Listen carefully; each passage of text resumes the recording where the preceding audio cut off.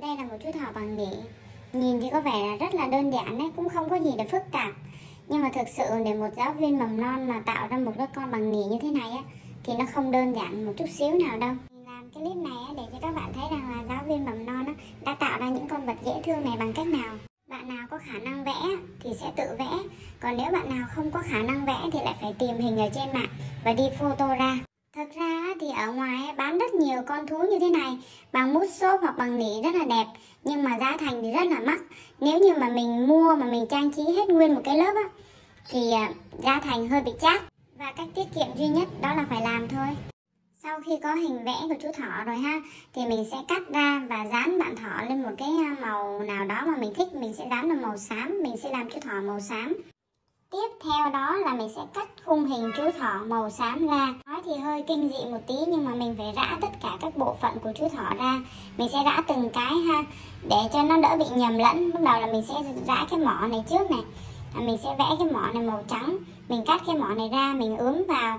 Tuy nhiên là ở bên trong á, mình cắt nhiều thì nó sẽ phức tạp Nên là mình sẽ chọn cái phương án. Đó là lấy cái à, bút màu đen á. Mình à, sẽ vẽ lên cái mỏ của chú như thế này cái hình này mình lựa chọn hơi phức tạp một tí là bởi vì có một bạn nhờ mình làm á. Nên là mình tiện thì mình quay luôn thôi. Bây giờ là đến phần hai cái tay nè, mình sẽ gắn vào cái màu hồng này. Màu hồng này sau đó mình cắt ra, mình cũng sẽ dán vào cái tay như thế. Các bạn đã hình dung ra được chú thỏ rồi đúng không? Đây là mình mới chỉ làm có một con thôi nhé còn các bạn cứ tưởng tượng đi, các cô phải trang trí hết nguyên cả cái lớp bốn bức tường đó.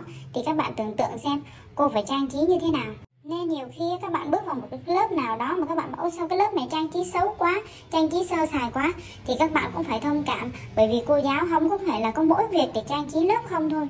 Mà các cô còn phải à, dọn dẹp lớp lau chùi rồi còn phải soạn các cái giáo án rồi lên các kế hoạch. Nói chung vân vân rất là nhiều việc. Đã nhiều việc rồi mà các cô còn phải kiêm luôn là một nhà thiết kế.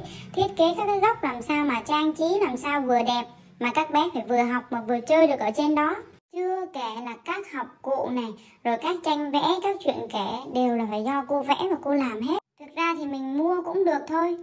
Nhưng mà cái phần lương thì nó cũng không cho phép để mình mua như thế.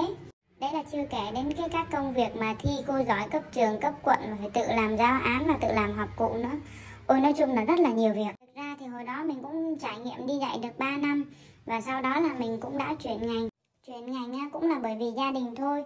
Bởi vì gia đình mình thấy là công việc này lương không cao Mà còn mất quá nhiều thời gian không có thể chăm sóc được gia đình Nên là quyết định cho mình làm một cái nghề khác. Thật ra khi mình chọn cái ngành mầm non á, là cũng bởi vì mình rất thích chơi với trẻ con Và cực kỳ thích làm handmade Nên là mình mới chọn cái ngành này. Cho tới giờ nghỉ rồi thì mình vẫn còn làm những cái thứ linh tinh như thế này. Các bạn thấy không, chú thỏ này rất đơn giản. Vậy chứ mà mình cũng làm gần 2 tiếng đồng hồ đó.